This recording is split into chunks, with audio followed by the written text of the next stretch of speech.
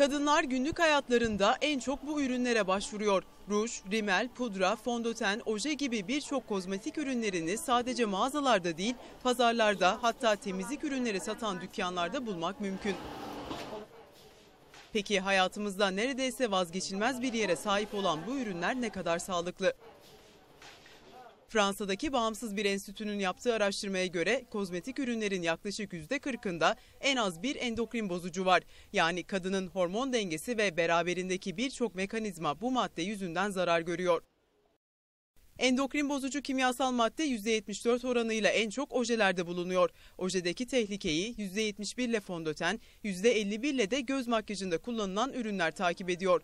Yüzdeki makyajı temizlemek için kullanılan ürünlerin %43'ünde de hormon bozan kimyasal ürünler var. Kadınların günde birkaç defa kullandığı rujların %40'ında da endokrin bozucu madde var. Deodorantlar da pek masum sayılmaz. Araştırmaya göre deodorantlarda %36, diş macunlarında %30 ve şampuanların da %24'ünde bu kimyasallar var. Bu kimyasallar iç salgı bezlerini oluşturan sistemi etkileyerek hormon dengesini bozuyor. Az miktardaki dozu bile özellikle meme ve prostat kanserlerinin artmasına ve kısırlığa yol açabiliyor.